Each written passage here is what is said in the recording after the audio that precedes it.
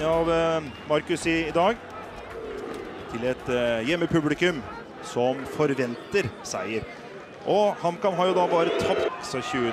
og siste serierunden her på Briskeby.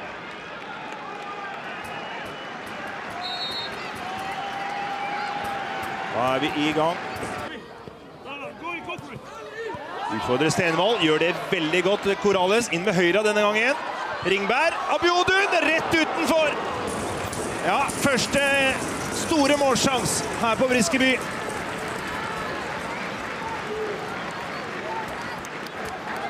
Et kjempeforspill av eh, Corales inn med høy... Momenchoy på Ivar Rønningen. Den er farlig. Alansinho nå. Ja, det er 1-0 til Stabæk! Det er 1-0 til Stabæk! Og det er Alansinho! Alansinho har skåret for Stabæk. Og HamKam har fått den verste starten de kunne tenke seg. De har spilt i ti minutter, og det er 0-1. Stabler inn i midten nå. Kommer det lompe rett mot Ringberg, som greier å stusse den. Og der er en kjemperedning av Jon Knutsen! Ja.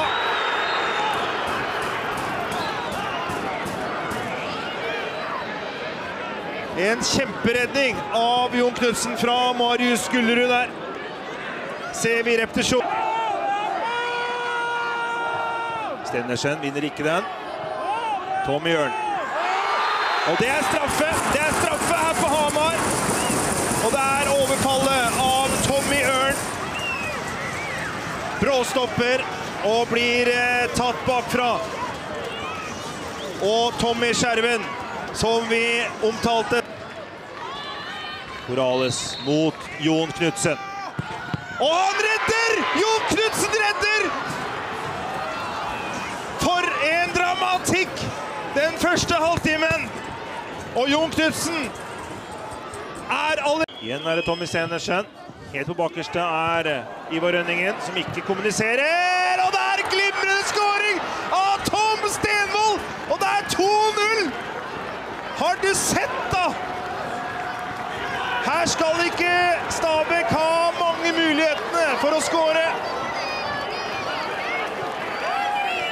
Mens HamKam prøver og prøver og prøver, så er det Stabæk som skårer og skårer. Denne gangen Todd opp mot Veigar Pål Gunnarsson til Daniel Landskog, som ikke er i offside. Nå kan du punktere, og det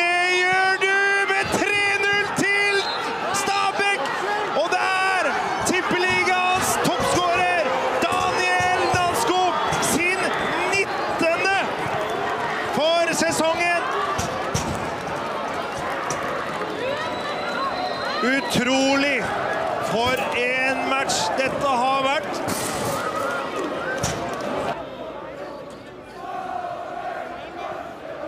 Stenvold spiller vegg.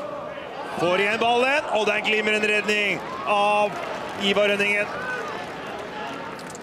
Flott spill av eh, Stabæk, dette her.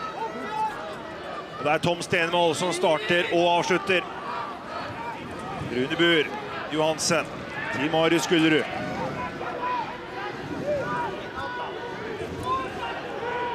Så er Jan Michaelsen. Opp med Jan Michaelsen. Men rett i fanget på Ja,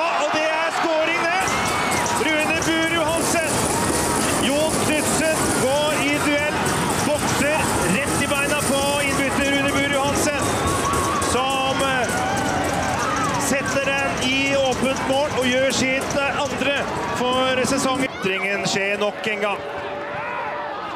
Her ser vi hvordan disse to gutta finner hverandre. Og de kan gjøre en avgjørelse her.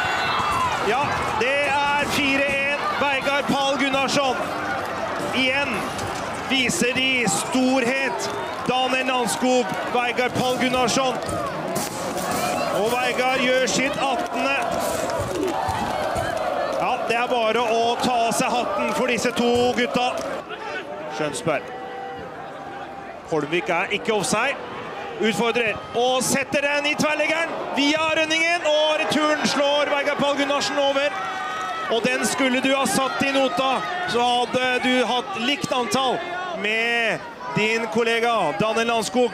For dere vil gjerne dele den toppskårertittelen.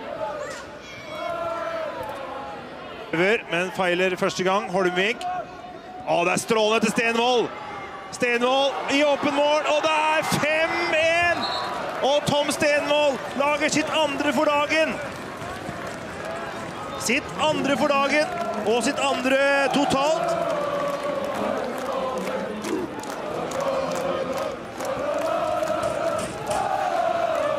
Og vi har sagt det.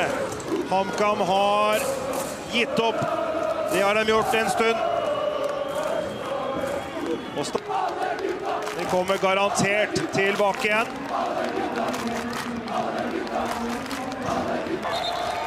HamKam rykker ned i Adeccoligaen. Lars Kjernås trøster Vegard Bjerke.